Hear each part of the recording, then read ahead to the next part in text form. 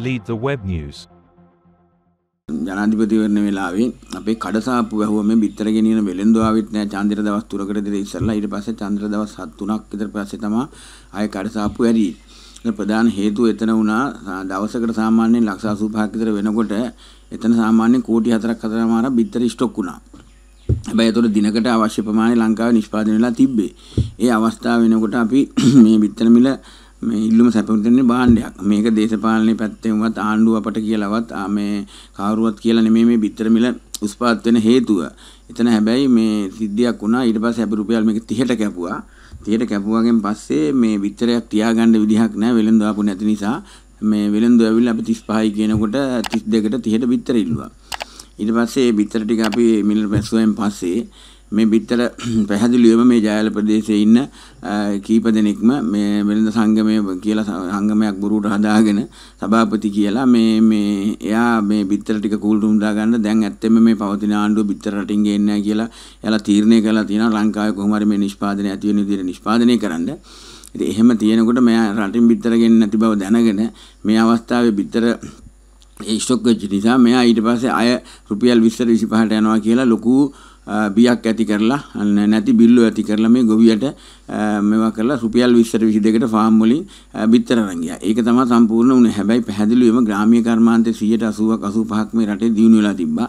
ඒ නිසා තමයි මේ බිත්තර වලින් ස්වයං පෝෂිත වුණේ. මේ ගොවියට සාමාන්‍ය රුපියල් 32ක් විතර පැහැදිලිවම බිත්තරයක් නිෂ්පාදනය කරන්න යනවා. ඒ බිත්තරේ රුපියල් 32කට වැටෙන 22කට වැටෙනකොට ගොවියට දරා ගන්න බෑ. ගොවියෙක් මං හිතන්නේ 7000ක් හදන්න අද කොටුවක් ගහලා සාමාන්‍ය ලක්ෂ 45ක් විතර යනවා මාස 4මාරක් පහ බිත්තර මේ කණ්ඩ දීලා. එතකොට ඒ ලක්ෂ 45 මේ කිකිලියක් සාමාන්‍ය බිත්තරයකට 300ක් විතර තමයි දාන්නේ. ඒකෙන් මේ මේ මුදල ගන්න ඕනේ. එකම ලාභයක් තියෙන්න ගන්න ඕනේ. එකම පැටව් ප්‍රමාණයක් ආයේ ඒ ගොවිපලේ හදන්න ඕනේ. එතකොට තමයි මේක වැඩි දියුණු වෙන්නේ. හැබැයි මේකට ගොවියෝ බය වුණා. මෙච්චර කාලයක් විහිදම් කරලා වැටිච්ච ගොවියා නැගිටපු වෙලාවෙම මේ වගේ රුපියල් 22කට බිත්තරයක් වැඩිච්ච නිසා මේ සාමාන්‍යයෙන් ඒ ඒ වෙලාවේ බිත්තරේ අපි රුපියල් 35ට යනකොට මස් මිල තිබ්බේ රුපියල් 500 450 500ත් අතර. හැබැයි ඒ සති සතිය දෙක සතියමාර දෙක යනකොට මේ මස් මිල වැටුණා රුපියල් 225ට 250ට. මේ සත්තු මං හිතන්නේ ලක්ෂ 15ක් 20ක් මේකේ මධ්‍යම පරිමාණ මහා පරිමාණ කුඩා පරිමාණ හැබැයි තුන්ගොල්ලම වික්කා. තව මේ බිත්තරේ පල්ලහැට එයි කියලා. ඇත්තට මේ අවස්ථාව විතර අපි මේක බැලුවා මස් මිලත් මෙහෙම වැටෙන නිසා බිත්තරේ ගියක් නිසා ඊට පස්සේ අපි මේ බිත්තරේ රුපියල් 25ට කපලා තිබිච්ච බිත්තරේ අපි රුපියල් 30 කෙරුවා. 30 කෙරුවෙන් පස්සේ චුට්ටක් මේක මඩ පැවැත්වලා නැවතුණා. එතකොට ගොවියා දැනගත්තා මේක ඉස්සරහට බිත්තර මිලක් ඇයි කියලා. ඒ කියන්නේ බිත්තර ස්ටොක් කරනවා තැන් තැන් වල ගිහින් පාම් වල ගිහිල්ලා රුපියල් 22කට 23ට බිත්තර ගන්න නිසා අපි බිත්තර මිල ඊට පස්සේ රුපියල් 30 කළා. 30 කරාන් පස්සේ මෙයාලා ඊට පස්සේ බොරුවට බිල්ල මමලා ස්ටොක් ගහගත්තු නිසා ආයෙ මෙයාලා බිත්තර මිල ඉහළට දැම්මා.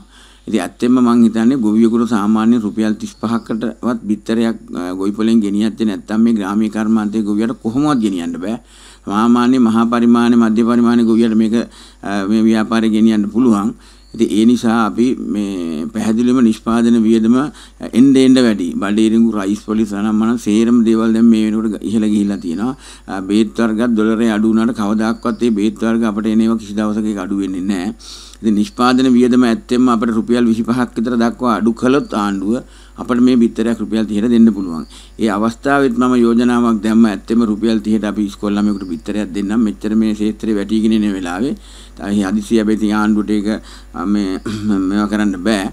අලුතෙන් ආණ්ඩුව පත් වෙච්ච නිසා ඉතින් මං හිතන්නේ මින් ඉදිරියට ඉස්කෝල ළමයෙකුට බිත්තරයක් දෙන්න යෝජනාවක් සම්මත කරගත්තොත් මේ ගොවියට ගොවියට සාමාන්‍ය රුපියල් 30 35 බිත්තරයක් මං හිතන්නේ මේ අලෙවි කරගන්න පුළුවන්. නැත්නම් මේ ක්ෂේත්‍රයේ ඇත්තම විනාශ ඇත්තම මං හිතන්නේ අය මං හිතන්නේ මේ බිත්තරේ මේ පසුවට පල්ලහැට එනවා සති 3ක් 4ක් ඒ කියන්නේ හැම මාසෙකම ලක්ෂ 5 ගානේ සත්තු බිත්තර වැඩි වෙනවා.